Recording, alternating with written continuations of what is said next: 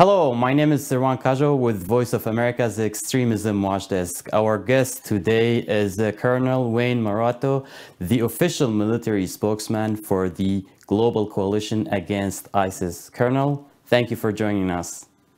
Thanks for having me. First, let's start uh, with Iraq. In recent week, the uh, Islamic State terror group has stepped up its attacks against Iraqi and Kurdish Peshmerga forces in uh, the northern part of the country. To what do you attribute this uh, increase in uh, violence by ISIS? And in what capacity is the coalition supporting its uh, local partners in Iraq? Well, let me start off with this that the coalition is in Iraq at the invitation of the Iraqi government, and we respect the sovereignty of Iraq. So, our mission in Iraq is to defeat Daesh and Daesh remnants and set conditions for stability and security follow on missions. Now, Daesh is territorially defeated. At one point, they had 110,000 square kilometers of territory they claimed in their so called caliphate. They ruled over 8 million people. They called Mosul the capital of their so called caliphate. Today, it appears their so called caliphate is in the uh, tunnels and caves of the Makmur Mountains and some deserts in Iraq and Syria. Now, they are territorially defeated, but Daesh is resilient and they're tough. They're not going to give up. And the coalition is going to continue to pursue them with a lot of pressure until all the Daesh remnants are defeated.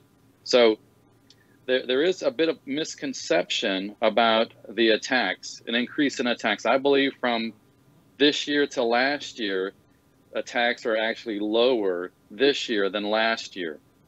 There's also a misconception about uh, Daesh attacking U.S. convoys and Daesh attacking U.S. facilities in Iraq. First of all, there are no U.S. facilities in Iraq. They're all Iraqi facilities that the coalition it, are guests at. Now, the convoys, there are no U.S. convoys, there's no coalition convoys. These convoys are Iraqi civilian contracted logistic convoys. They carry equipment for the ISF. And out of all of the convoys, approximately 5% are hit by IEDs or attacked. Most of those 5% are continue on with their mission. There's minimal damage, and the ISF protects those convoys. So you have Iraqi civilians driving these 18 wheelers, just trying to make a living, and they're being attacked by either Daesh or these outlaw militia groups or just outlaw gangs trying to hurt the coalition. But in actuality, they're hurting the Iraqis because that equipment is for the ISF. And the U.S through the CTEF program has granted this equipment to the ISF. And the ISF is doing a tremendous job fighting Daesh. The coalition, the US, we're not, we're not in the lead fighting Daesh. It's the ISF. And when I first came to Iraq for OIR in 2015, uh, we were at the level of uh, being at Iraqi facilities such as Taji, and uh, Basmaya. We were training the Iraqis in, in, in low level tactics how to clear a room, how to shoot and maneuver. The coalition no longer does that. The Iraqis are training themselves. The coalition part of uh, OIR, the U.S. portion of that, has drawn down from some over 5,000 a year ago to approximately 2,500 now. And that's a good news story. That's a, the success of the ISF. They've done a lot of battling with with Daesh, and they've been successful. Now, the future is not bloodless in Iraq and Syria. It's it's going to be a fight against Daesh remnants, but the ISF, the SDF, and the Peshmerga are going to continue pers- to pursue Daesh, and the coalition is going to support them. So we've gone from being at Basmaya and Taji training the Iraqis. They're training themselves now. Now we are enabling and supporting the ISF and the SDF and the Peshmerga with things such as intelligence, surveillance, reconnaissance, logistics, and air power when they request it. So we, we partner with them, and it's always been the goal of the coalition to build that partner capacity so that the ISF can take on Daesh itself and protect its border and its sovereignty. And we think we've made tremendous progress in that mission because the ISF is in the lead and the ISF is doing the fighting. The coalition is supporting them, and our mission continues to support them with what we give them, enabling them uh, in the mission to, to defeat Daesh and Daesh remnants. But officials in Baghdad and Erbil, um, the capital of the Kurdistan region, say that ISIS remains a major, major threat in, in the country. Like you said, while it no longer holds any territory, it is still capable of conducting these types of deadly attacks. In light of these violent attacks, should, the, uh, should we expect changes in the way the US-led coalition assists, assists in um, countering ISIS' growing insurgency? Well, well, let me tell you this uh, OIR does not see or observe any indication of resurgency. Daesh is not going to take over Mosul and make it their so-called caliphate capital. What Daesh is doing and what Daesh continues to do is pursue an insurgency with hit and run tactics, assassinations, kidnappings, and criminal activities to fund their terrorism. And they seek to undermine the progress of liberated areas towards stabilization. Um, Daesh capabilities in finance and, and uh, military and their propaganda have all been diminished. And the coalition and our partner forces will maintain that pressure on Daesh and prevent a reemergence of Daesh. So again, the, the future is not bloodless in Iraq and Syria with Daesh. Uh, we have to keep on putting the pressure on them and, and keep on defeating them. And the ISF and the SDF and the Peshmerga have been successful. Now, let well, well. In addition to threats posed by ISIS, Iraqi military bases uh, housing U.S. troops, and Erbil International Airport, which also hosts a, a coalition base, have come under several rocket and drone attacks in recent weeks and months. What group or groups are responsible for these attacks, and what can the coalition do to put an end to these attacks? Well, the coalition has the right to self defense, and we will defend ourselves. Now, which groups are, are responsible for this? I don't know. The Kurdistan Regional Government and the government of Iraq are in charge of those investigations, and we're waiting for them to tell us who is in who is in uh, at, at fault for these uh, attacks. So I don't want to get ahead of the GOI or the KRG. Uh, I'll refer you to them and, and see how they're, they're coming along with their investigation on these attacks. But I will say this, that each attack against the GOI, the KRG, and the coalition undermines the authority of Iraqi institutions, the rule of law, and Iraqi national sovereignty. Now let's uh, turn to Syria, where ISIS similarly has been carrying out attacks against civilians as well as your partners, the Syrian Democratic Forces, SDF. Can you explain to our viewers the latest SDF-led campaign against active ISIS cells in eastern Syria and the type of support the coalition provides in this regard?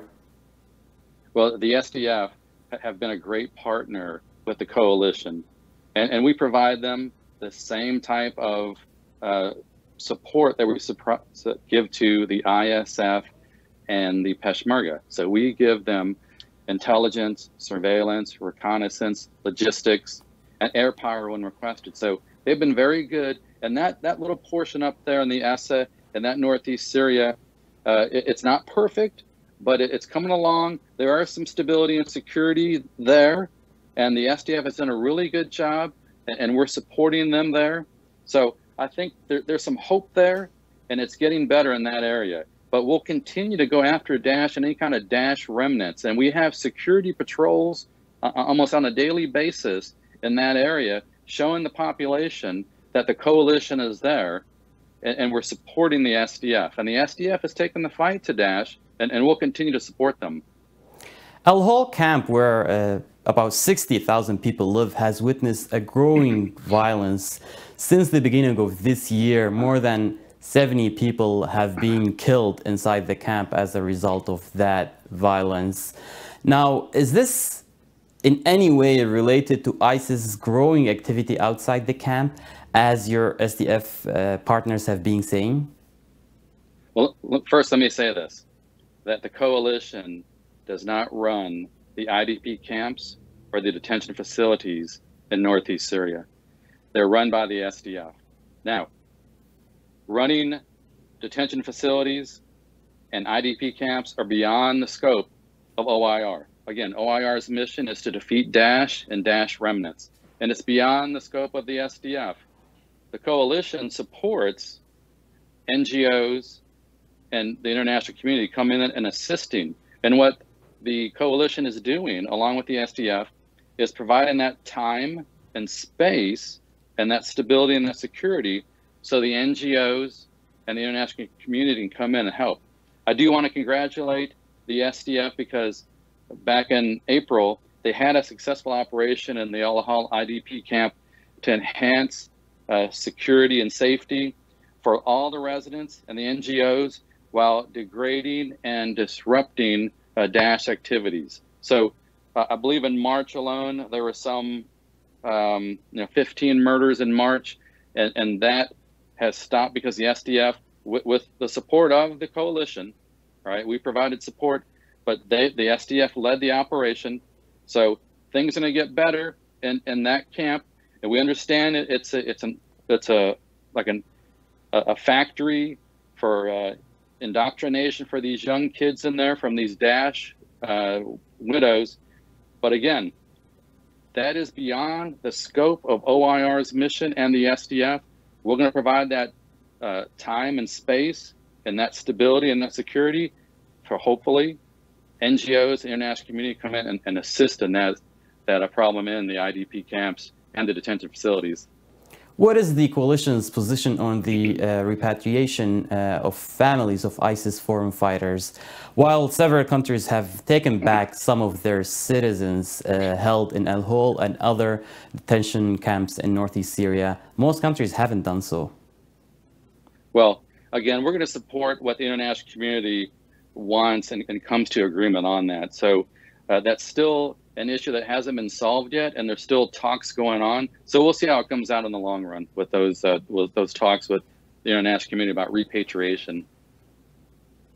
As you know, Russia has been expanding its military presence in northeast Syria. Do you see this as a threat to your ongoing anti-ISIS efforts in the country? Because Russia openly opposes your um, presence in uh, in that part of Syria.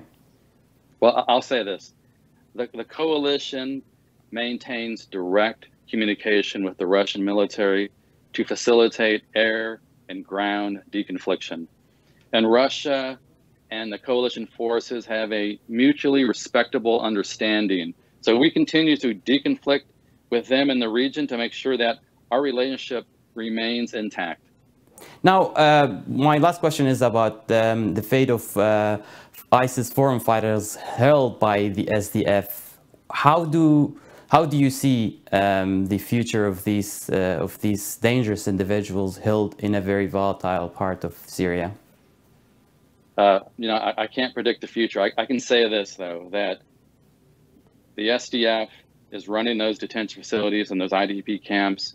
Uh, the coalition is not involved in that. We support the SDF, and uh, we're providing that time and space so the NGOs and the international community come in and help out. So again, it, goes back to the international community helping with those detention facilities and those Daesh fighters so they don't get out and return to the battlefield. So those kids in the IDP camp who are indoctrinated with this poisonous ideology don't go to the battlefield.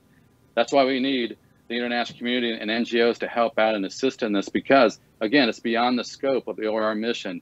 Again, our mission is to defeat Daesh and Daesh remnants and, and we're continuing to do that at the invitation of the Iraqi government. just to follow up on that, the autonomous administration in North and East Syria has been calling on the establishment of a local tribunal to try these ISIS fighters. In the absence of an international, uh, any international effort to uh, repatriate uh, these people to their original countries, would the coalition support that type of initiative? Well, we'd have to have more information on that before we, we would commit to it. All right, Colonel, thank you so much for your time. Thank you. Thanks for having me. Thanks.